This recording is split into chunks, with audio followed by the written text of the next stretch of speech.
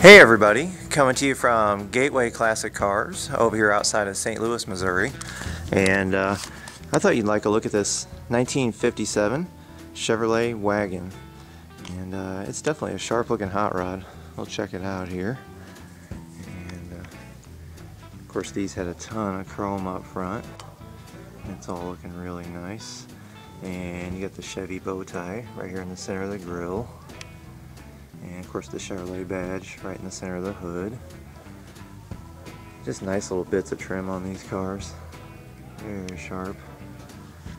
And you can see it's in kind of a, I guess you'd call it like a tangerine color. Definitely an attention grabber.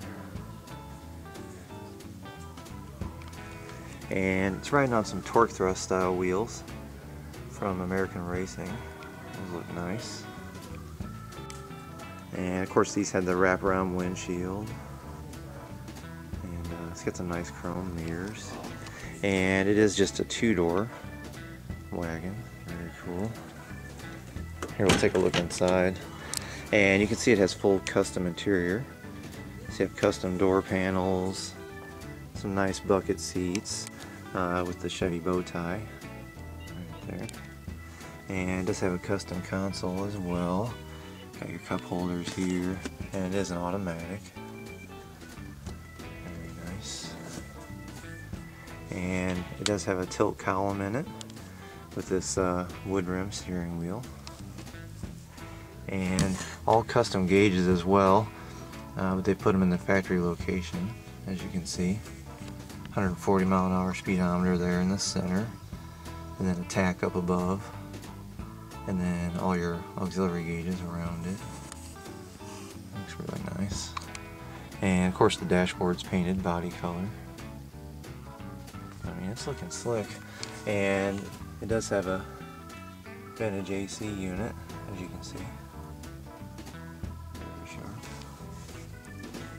And of course the rear seat matches the front. Very nice.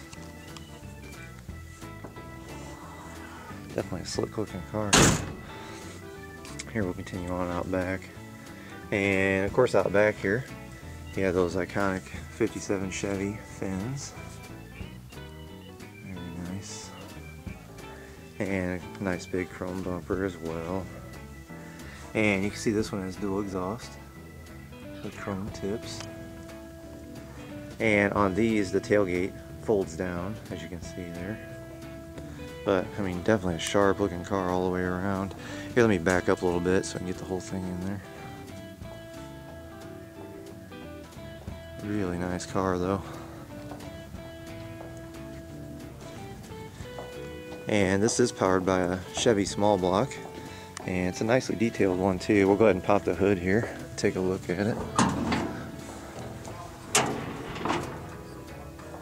And you can see has a nice aluminum air cleaner up top.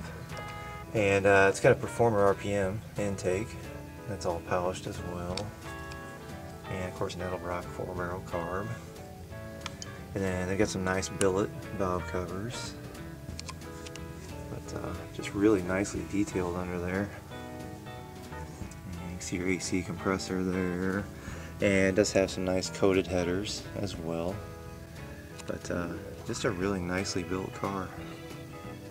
And you can see they've added an aluminum radiator and an electric fan as well. So uh, it's definitely ready to go. Very nice. And uh, they don't have all the information on this one yet because it just came in. So as that becomes available, I'll add that below the video for you.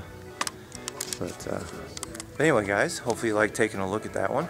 I'm going to keep looking around, see what else they have, and I'll see you later. Bye.